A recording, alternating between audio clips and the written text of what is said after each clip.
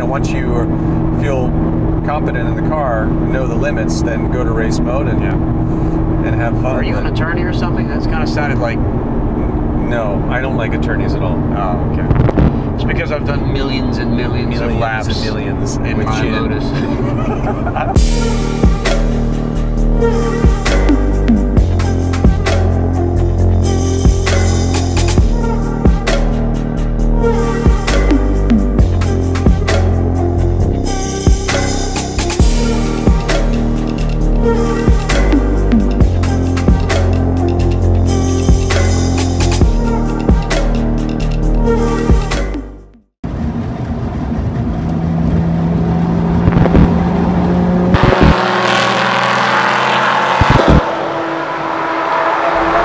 John, how, how exciting is this? This is awesome.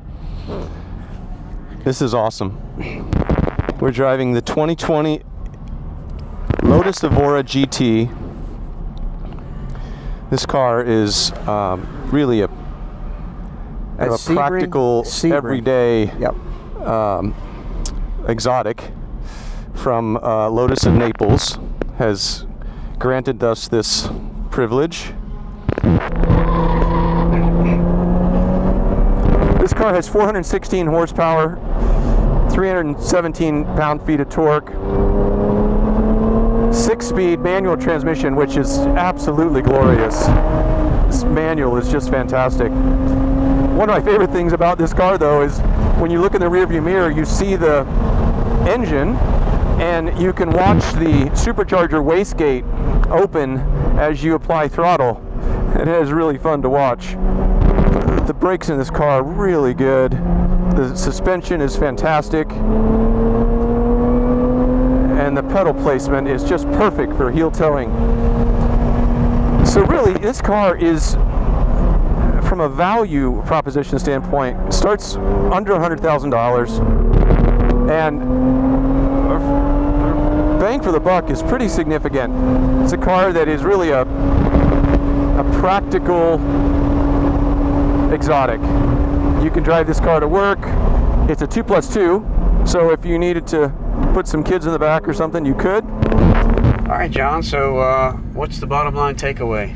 Bottom line takeaway is uh, this 2020 Lotus Evora GT is uh, really a, a uh, force to be reckoned with on the track.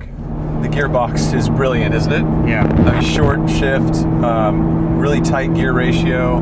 The clutch and and uh, pedal positioning is really well done. Um, this is a hand-built car in England. I mean, it's it's um, you know it's a it's a custom you know uh, exotic car. This is true. So it's a Toyota engine, which is bulletproof.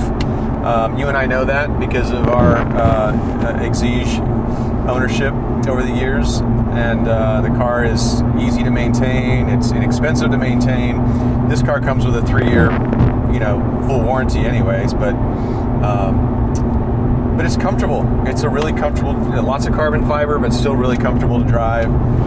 So, so who buys this car? I mean, you know, you and I, we know plenty of people that have plenty of cars, and and, and I think, you know, I was at lunch with somebody the other day, you know, and the guy's got a, a couple Ferraris, and you talk to him about going to the track, and he and he's not going to take the Ferrari to the track, but isn't this the kind of car that that a, that a guy purchases that that maybe already has a supercar or something, and this is what you have in the stable to just go to Sebring, put it on the track, be able to enjoy it, and then not spend ten grand on brakes and. Totally agree. Totally agree. Uh, carbon fiber ceramic brakes on the, you know, on the 488 are twenty-five thousand dollars. You know, I mean, this is this car is, um, it's a it's a great everyday driver. Um, you know, really a kind of a uh, everyday exotic, and you can take it to the track and beat on it for the day. Have a wonderful time driving home and and you don't have to you know have to worry about putting miles on it. It's a thing. I mean, a lot of the Ferrari guys have you know 2,500 miles on their car, and that's the most they'll ever have. You know, they drive it until then, and then they don't want to, and they'll never dream of, of putting it on the track, like you said. It's just too much at risk. But you know, this is uh, very exotic looking, just a really unique automobile, and very very track worthy. really, really track worthy. If you don't want to be unique and and original and have something that's that's actually pretty rare, then don't buy a Lotus. I mean, Yeah. it's that's you're gonna be uh, you're gonna kind of stand out in the crowd, especially with this canary yellow, uh, which is really brilliant on this car.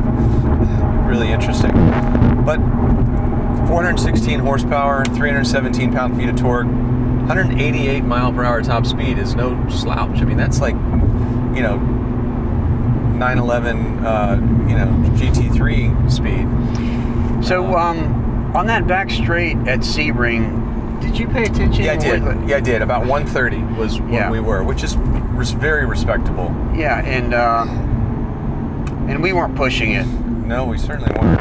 Riding with you uh, on that on that lap was really the pleasure of my day. It was you. Your line was fantastic. Your everything was just was just so well done. You're not just saying that. No, I'm not just saying that.